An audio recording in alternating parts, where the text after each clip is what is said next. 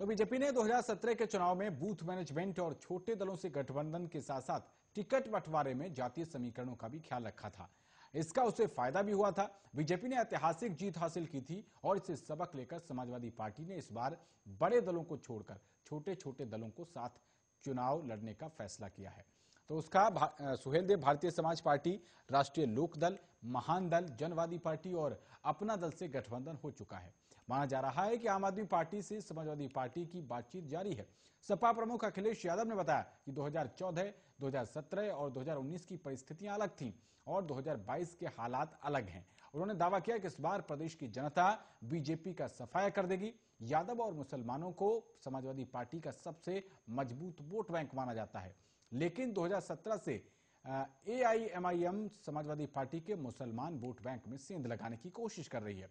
पिछला चुनाव उसने 30 से अधिक सीटों पर लड़ा था। इस बार उसने 100 सीटों पर चुनाव लड़ने की घोषणा की है। इस वजह से समाजवादी पार्टी को बीजेपी से निपटने के साथ साथ एआईएमआईएम से भी निपटने की रणनीति बनानी पड़ रही है।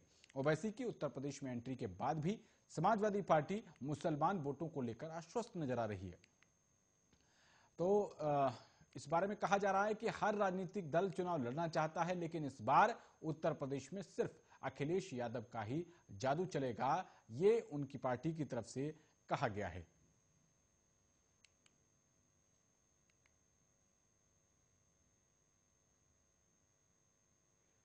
आगे बढ़ते हैं और बात करते हैं कोरोना की। कोरोना वायरस के नए वेरिएंट ओमिक्रॉन के मिलने के बाद से ही पूरे देश में कोरोना की तीसरी लहर का खतरा कायम है।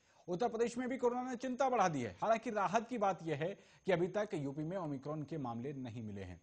यूपी में कोरोना वायरस के दूसरी लहर के दौरान कोरोना के डेल्टा वेरिएंट ने जमकर तबाही मचाई थी। अब फिर से ओमिक्रॉन के खतरे के बीच डेल्टा वेरिएंट के मामले उत्तर प्रदेश की राजधानी लखनऊ में बढ़ने लगे हैं।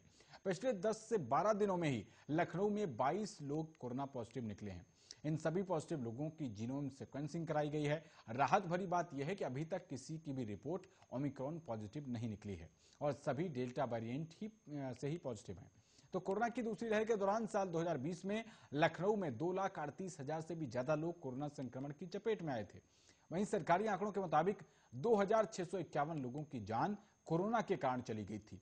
अब कोरोना की तीसरी लहर के खतरे के बीच राजधानी लखनऊ में बढ़ रहे मामले चिंता का विषय बने हुए हैं। कोरोना की तीसरी लहर के खतरे के बीच कल लखनऊ के पुलिस कमिश्नर डीके ठाकुर की भी कोरोना रिपोर्ट पॉजिटिव आई थी। हालाँकि उसमें कोरोना को को लेकर कोई भी लक्षण नहीं है। हालाँकि पुलिस आयुक्त ने बताया कि वो पूरी तरीके से स्वस्थ हैं और उनके भीतर कोरोना वायरस के कोई लक्षण नहीं है।